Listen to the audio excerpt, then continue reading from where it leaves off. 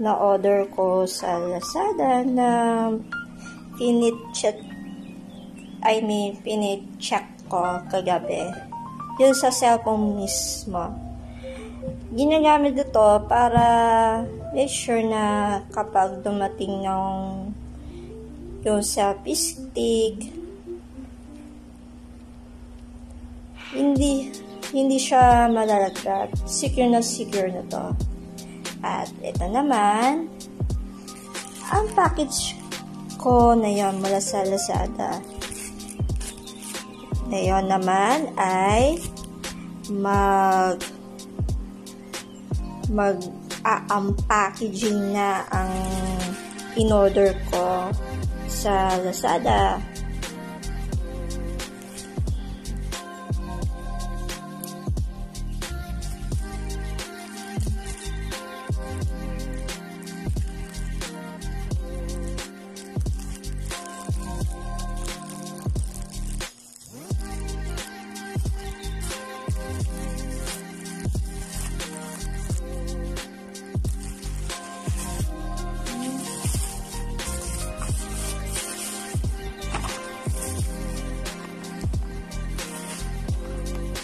Medyo pipit na yung box na ito. Tapos, buksan natin. Ayan, color green na siya. Ito naman yung cord para may pan-charge. At ito naman, yung sub-stick. Buksan natin.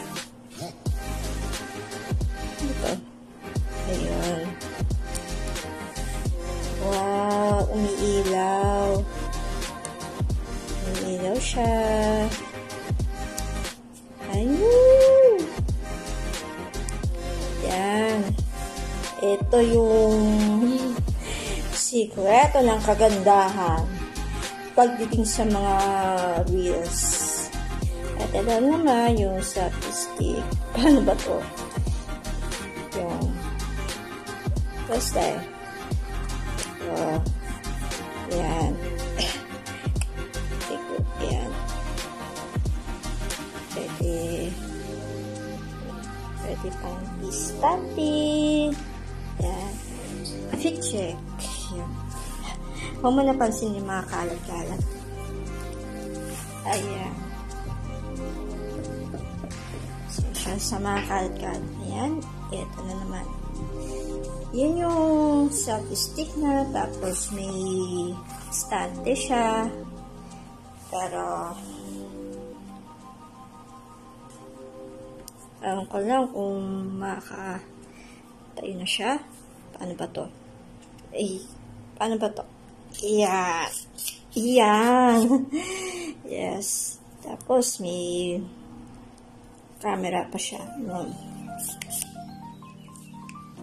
Ayan. Ang hirap naman yung selfie stick na yan. Ah!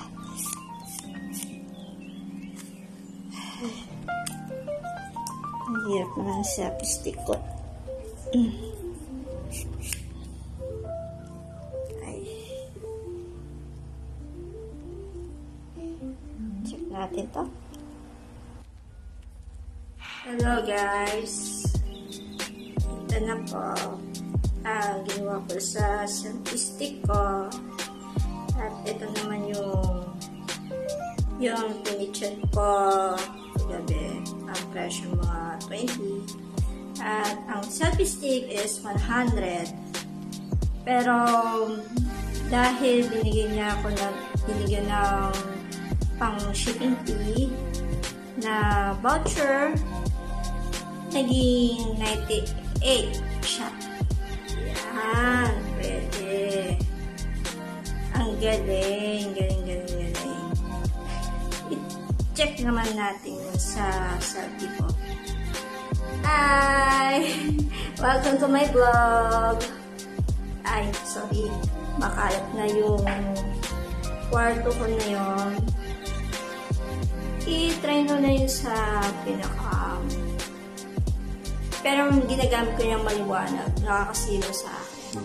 Yan. Yan yung pinatay ko. Yan, pinatay ko na siya. Number one. Yan. Tapos, number two. Wow. Ang liwanag. Number three. Yan, maliwanag. Pero nakakasirious sa number three na yan. Para electric fan na yun. Ayan. Ah, sige. Until the next reel or vlog.